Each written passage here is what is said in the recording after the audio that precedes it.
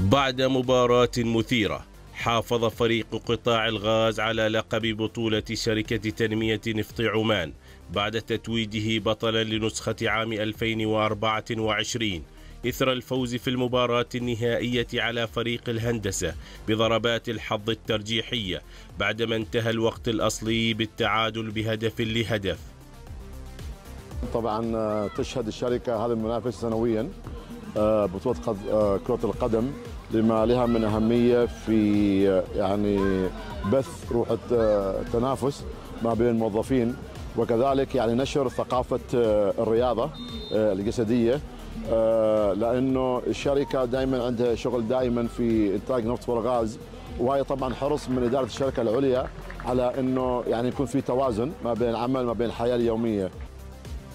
بدأت المباراة بندية كبيرة. وكانت سجالا بين الفريقين ومليئة بالهجمات الخطيرة المتبادلة ولكن دون تسجيل أي أهداف لينتهي الشوط الأول بالتعادل السلبي. ومع انطلاقة الشوط الثاني شهدت المباراة نشاطا هجوميا مكثفا بين الفريقين مع أفضلية نسبية لقطاع الغاز الذي تمكن من إحراز هدف التقدم عن طريق اللاعب أدهم الوردي إلا أن فرحتهم لم تستمر طويلا حتى عاد فريق الهندسة وعدل من الكفة بواسطة اللاعب محمد الشكيلي لتذهب بعدها المباراة لركلات الحظ الترجيحية والتي حسمها فريق الغاز لصالحه. مباراة صراحة كانت ماراثونية والشباب ما قصروا. آه، قد الثقة والحمد لله حققنا البطولة المرة الثانية على التوالي.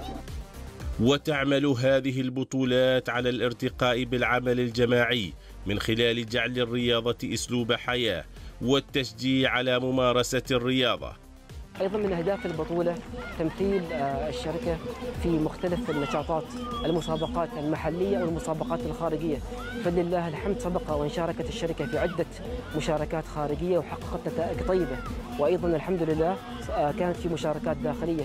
فنطمح من استمرارية مثل هذه البطولات آه، إنتاج أفضل اللاعبين في شتى أقسام الشركة وتمثيل خير تمثيل الشركة في شتى المحافل.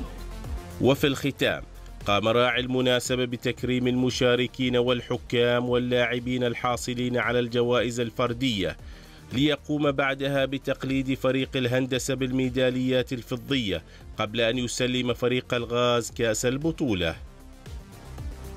وسط أجواء مثيرة توج فريق قطاع الغاز بلقب النسخة الثامنة من بطولة شركة تنمية نفط عمان. أحمد بن حسين العجمي محافظة مسقط.